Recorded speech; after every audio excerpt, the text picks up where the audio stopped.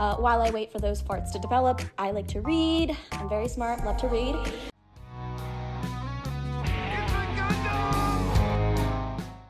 Lord have mercy, child. It may be a new year. Get ready to memesterbate off of this one. 90 Day Fiance star who made 38,000 that's in like British pounds sterling. So what is that like $42,000 or something? The chick who basically made like 50 grand a week selling her farts in jars. Oh, I can't say that still? I'll just edit it out. Well, anyway, she's selling her farts in a jar. She's hospitalized because she thought she was having a heart attack. If there's one thing that the world has taught me in the last four years of content creation, it's this. E-girls will find new ways to monetize themselves and they'll always find new ways to f themselves up. I am shocked. Shocked. Well, not that shocked. I'll tell you this, children. I don't care what anyone says. The e-girl specializes in destruction and only destruction. Of course, she can make money because this day and age has produced a gluttony of weak males that don't know what gender they want to be, but they certainly know they admire the female form to the point of where they'll just throw money at her. Former reality star who made $200,000 selling fart jars has just announced her retirement. What? Oh no! After she was rushed to the hospital for squeezing out too many. Ah, man. Uh, Jack Murphy's lucky. This is the new hotness. You ever thought that there'd be a day when you check the news and someone would be hospitalized for trying to squeeze out too many farts? And it shows you that women can't do things as well as men. Mr. Methane has been farting for decades, and he hasn't been hospitalized once. But then again, I'm 100% sure he has not made the money this girl has made.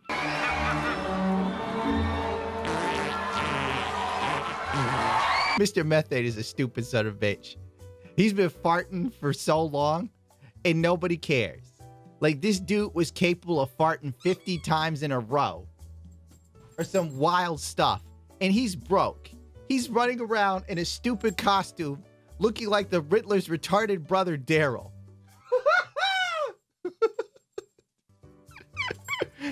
Chick farts for two weeks and clears 250,000, a quarter of a million dollars, and she's almost dead. Stephanie Matto, I think her name is. I don't care. She's not dating me or put money in my pocket. So, from Connecticut, recently found herself in the A&E with symptoms of a heart attack after experiencing shooting pains in her buttocks and chest. Concerned doctors perform a blood test with the EKG, but later told the 90 Day Fiancé TV star she's not a TV star. She's on 90 Day Fiancé like what, two years ago, right before it hit? Right before the virus hit? for YouTube because God knows you can't say certain things. And they, they act like she was a star. She was obnoxious as hell on the show. So you knew about that before you even came here. No, I didn't. Do you know how many friends you have, Erika? Do you know how many names am I supposed to? Jess, Jed, blah, blah, blah. Know. How am I supposed to know that that person standing in front of me is the person I had sex with? Get the out of here. Let's see. Told the 90 Day Star that symptoms were actually caused by excessive gas from her frequent diet of beans, eggs, and banana protein shakes. Somehow, this is this is a full-grown woman. At no point did she stop and think to herself, maybe I'm taking it too far. Maybe I need a normal diet. I should space out my constant ass ripping. But this chick was 100% sure she was going to be a multi-millionaire, so she was squeezing them out like crazy. This level of greed is only known by women in dark side Phil. That's very alarming, is that I need th- that money. I really do. I need that money to pay my bills. Speaking of the moment she took ill, Steph said, I thought I was having a stroke and that these were my final moments. I was overdoing it. Could you imagine? You think you're dying and you're like, oh, I'm going to die with a legacy of farts. She's probably like, she probably thought she was dying. And the only thing she could think of is how she didn't get to finish selling the last 10 jars, you know? She began selling her farts in a jar in November last year after receiving requests on the adult site Unfiltered. Ah, we just promoted her adult site that she created, which is OnlyFans knockoff number 1 billion. The unique product, unique product, this has been going on forever. People have been selling farts for years. My God. I don't know why I'm perturbed by that. They're like They act like she discovered gold or something, like some unique thing. No, it's never been done before. No one's thought of it. I wouldn't be surprised if like Alinity was selling farts at some point. Dear ladies and gentlemen, we come to the part of the program which is always my favorite because it means something. This video is sponsored by Galaxy Lamps because YouTube hates me. The Galaxy Lamp 2.0 fills your space with mesmerizing spotlights. I recommend the blue version, by the way. Once the beams leave the matrix and strikes your surface, you'll be immersed in an alternate universe of constellations. Galaxy Lamps has an app for the projector itself that gives you more color options, custom themes, adjustable rotational speed, and the ability to set timers, schedules, and so on. If you don't really like installing apps on your phone, which I completely understand, there's a settings button on the lamp itself, but it only comes with six preset settings. So that's kind of the drawback. The Galaxy lamp is perfect for any room, any setting, especially while watching films. It's safe for the whole family because it uses low wattage lasers that produce less heat, it's safe for kids, and it's pet friendly. By the way, it's a very unique gift that I strongly only recommend giving to chicks because they seem to love it. I don't think a normal dude would admit to owning this. Go to galaxylamps.co slash it's a Gundam to save 15% off your order today. Unique Products saw her take in cash at $1,000 per jar, though Steph offered a 50% discount during the festival period. Well, um, I forgot what it's called, Hollywood Now or something. They have confirmed that the jars would go as low as $100 depending on what time of the season it was. Your money. Now, on a good day, you can get a deal of buying the farts for 100 bucks. But on a bad day, like leading up to the holidays, well, this thing can set you back as much as a $1,000. But since Christmas was coming up, she jacked the price to one grand. Then I guess she felt bad, and you know, because every kid wants one of her fart jars for Christmas. So she gave a 50% discount over the holiday season in honor of the baby Jesus. To keep up with demand, which saw her squeeze out 50 jars worth of farts a week. 50 farts! It doesn't sound like a lot for a week. I don't know. Maybe I'm crazy. I haven't bothered to keep track of my farts. The last video I did on this, they were like, um, you were promoting sex. I'm like, good God almighty. You just hate me. Say it. Uh, we saw her squeezing out $50, 50 jars worth of farts a week. The self-proclaimed fartrepreneur. Oh my God. We're doomed. The world is burning. Let's memesterbate. Opted to opted for a high fiber diet, living off of beans and eggs. She later added protein shakes to the mix after discovering it made the fart smell worse. I like to get things rolling with some beans, a protein muffin, sometimes even a yogurt. Less sugar is better, some hard boiled eggs. And today I decided I was gonna make myself a protein shake with some yogurt added to it. And oh, Yummy!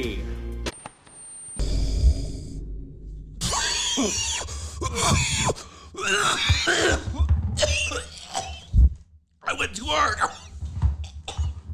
Ain't messing around. Oh, cut the camera. Cut the. Ah, what a hero. The hero we need, but not the one we deserve. Stephanie Matto, the entrepreneur.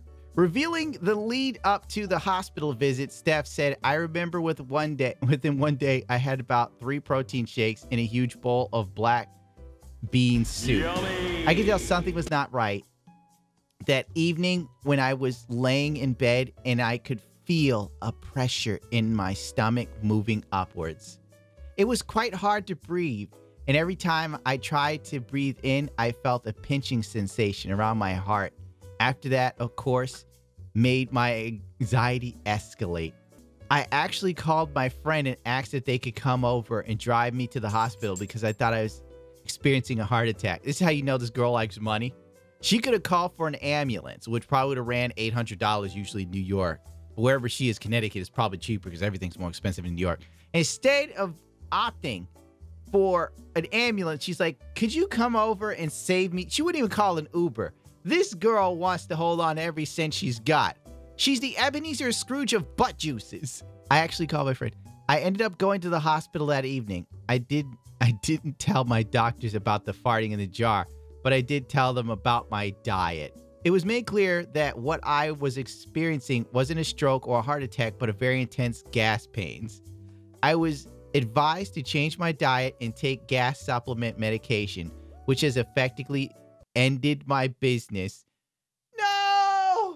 Yeah, yeah, how do you like that, China? Yeah, suck it up. Yeah, that's life, lady. Yeah, welcome to show business.